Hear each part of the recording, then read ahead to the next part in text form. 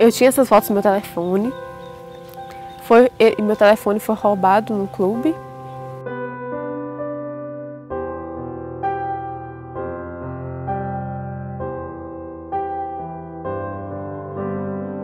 A gente estava de férias e tal.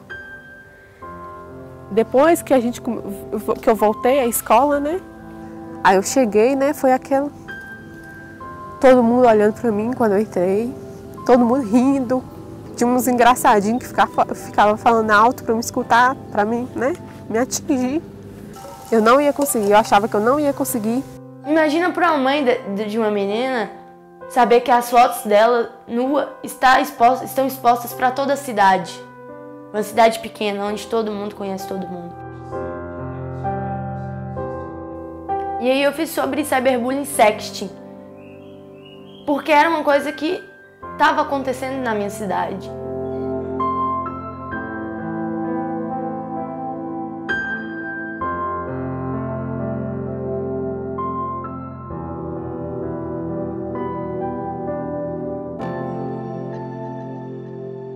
Assim que aconteceu, depois que, a gente, que eu voltei a escola, né?